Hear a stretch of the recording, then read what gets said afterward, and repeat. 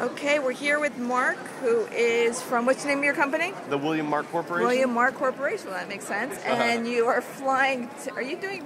Two, no, do you have somebody else doing the other I, fish? Yeah. Okay, so tell me again, how do these work?